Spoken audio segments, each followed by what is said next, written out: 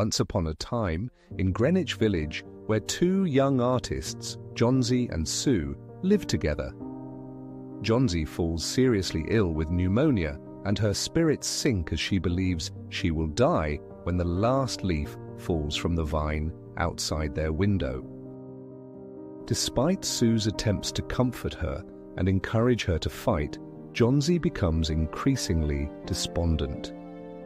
One evening, as a fierce wind blows through the village, Johnsy watches the leaves fall one by one. She is convinced that when the final leaf drops, she will perish. Sue, desperate to help her friend, seeks solace in their neighbor, an elderly artist named Behrman. Behrman is a gruff man who has never achieved his dream of painting a masterpiece. Moved by Johnsy's plight, Behrman decides to take action.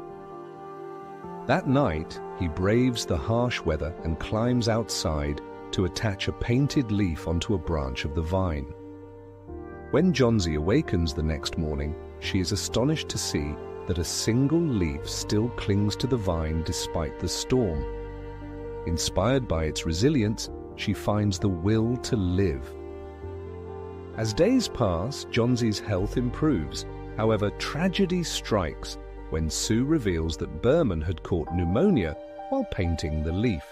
He had sacrificed his health to give Johnsy hope. In the end, Behrman's painted leaf becomes a symbol of hope and the power of selfless love. Johnsy, now healed, realizes the depth of Behrman's sacrifice, but he had painted his masterpiece